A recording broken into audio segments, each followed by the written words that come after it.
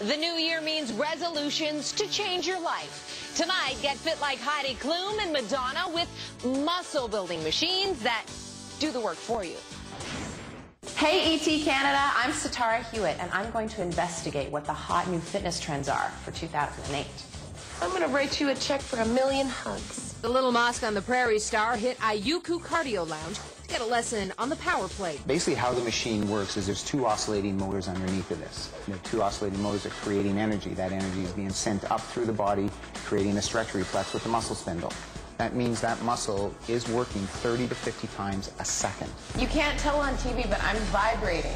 Trainer David Peerboom amps up Sitara's workout in less than a minute. If I told you you would have exhausted yourself in less than 40 seconds doing a few push-ups, I would not have believed you, David. And this fitness phenomenon has already garnered some famous fans. uh, Sting uses this machine on tour. Madonna has these machines. Clint Eastwood has this machine. I felt like I was working every fiber in my being. So today I'm going to be teaching Sitara um, three basic moves that you can do with a kettlebell. And those moves are a swing, a clean and press, and the windmill. Okay, I felt that. And Sitara isn't the only celeb who's using the kettlebells to get in shape. The cast of 300 uh, we're using kettlebells. Rocky used kettlebells. You feel every part of your body stabilizing and trying to work with it.